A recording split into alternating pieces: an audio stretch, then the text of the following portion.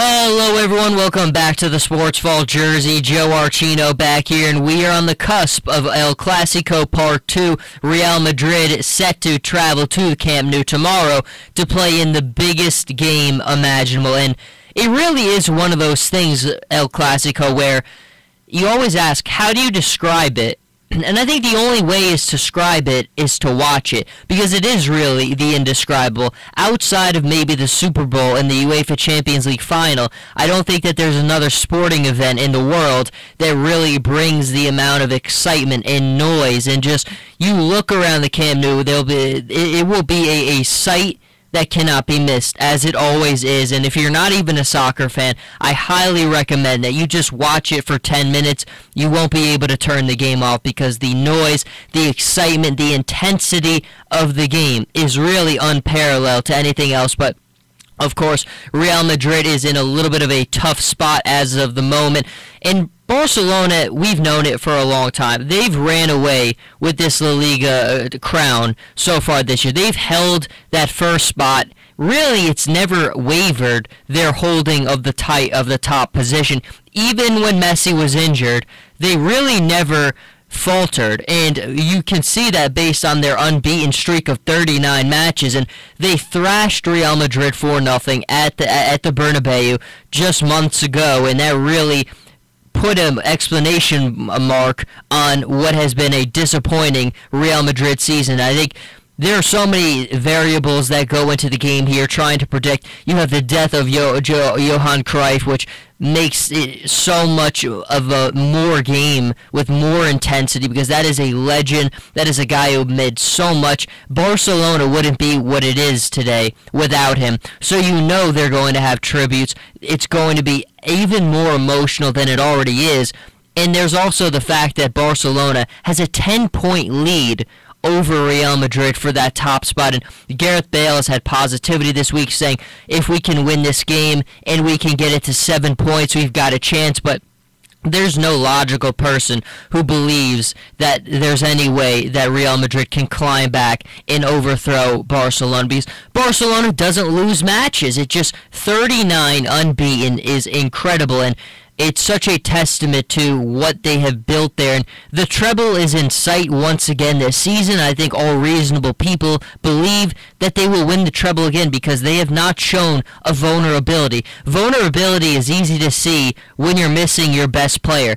But even when they miss their best player, they didn't falter for a second. Neymar led La Liga in goals scored when Messi was out, and Luis Suarez has probably been the best player in world football this season. There are so many variables at play here that look in favor of Barcelona, but I think more than anything, it's the coaching difference. We saw in the biggest match that Zinedine Zidane has coached as the manager of Real Madrid was against Atletico Madrid and he was outcoached by Diego Simeone in that match. There's no debate about it. Now you got Luis Enrique.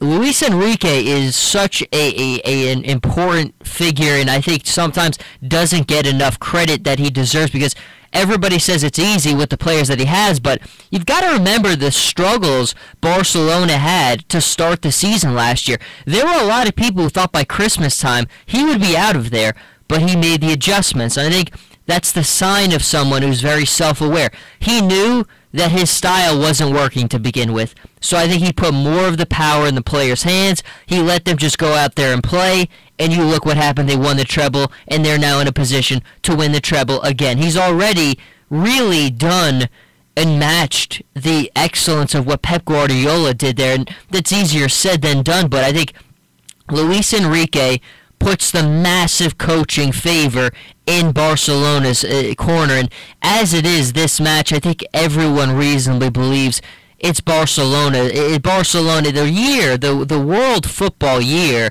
has been marked by them putting their stamp on everything. I mean, winning the World Club Cup, winning everything there is with everything still in sight, having a 10-point league in La Liga right now. I mean, every time they've had to answer the call against one of these top clubs.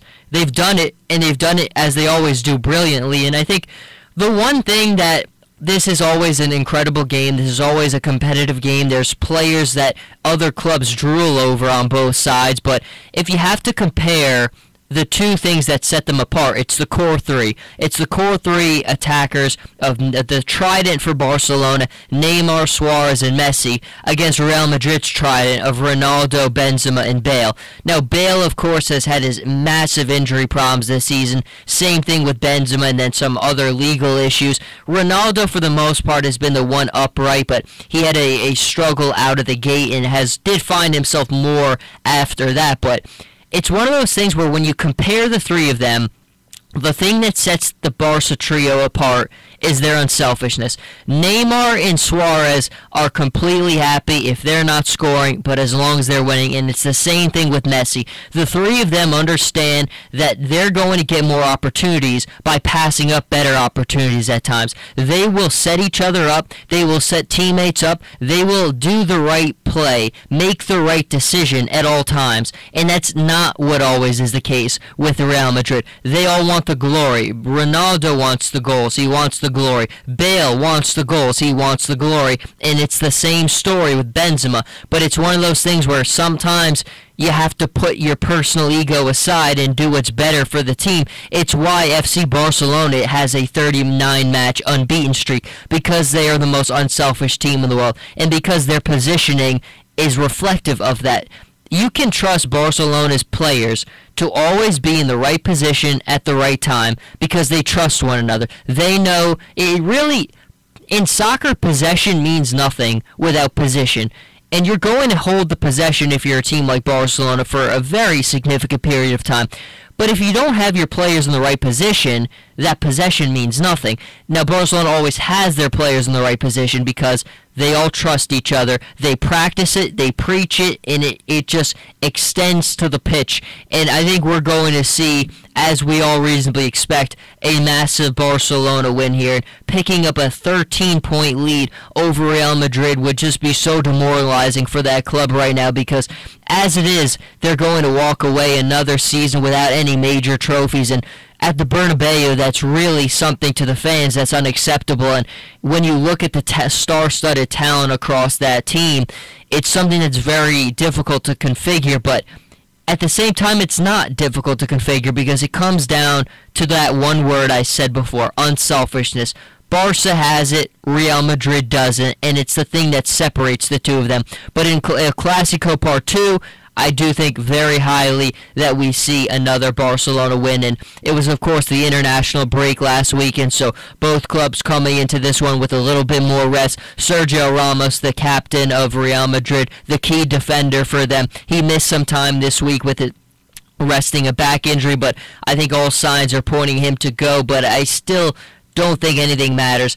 Zidane is going to be out coached by Luis Enrique. It happened against their, in their match against Atletico Madrid. I think that's a big variable that plays into Barcelona's already massive favor. They're home at the Camp Nou. You have the the emotional significance that this game means, and I think atop more than anything, just the talent on on Barcelona is better than it is on Real Madrid, and the unselfishness is the biggest reason for that. I like Barcelona big here. I'll take them three nothing over Real Madrid, and I think we see this just pushing them forward again in their path for another treble. And it's one of those things where they've been even better than they were last season because last season they had that first half where it was a struggle to find their identity and to play together but after December, they all they became what they are now, and what they are now is really an unstoppable force. But until the final minute of El Clasico Part Two, Jersey Joe Archino here with the Sports Vault. You can follow me on Twitter for all my thoughts. I'll be,